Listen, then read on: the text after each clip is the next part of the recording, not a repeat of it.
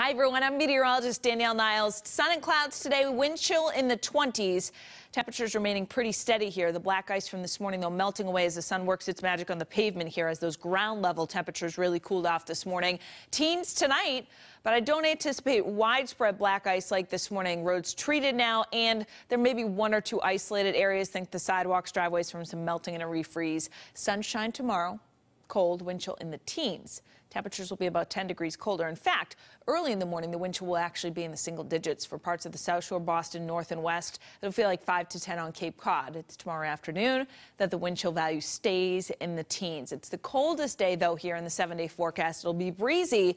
Wind gusts both today and tomorrow up around 30, 35 miles per hour. So not damaging wind, but definitely adding a chill to the air. Less wind on Friday makes a difference. 40s for the upcoming weekend still. Saturday increasing clouds. Sunday, rain looks likely. Colder air coming in behind it. Could see some flurries or snow showers on Monday and only around 30 on Tuesday. See you again tomorrow morning for WBZ This Morning.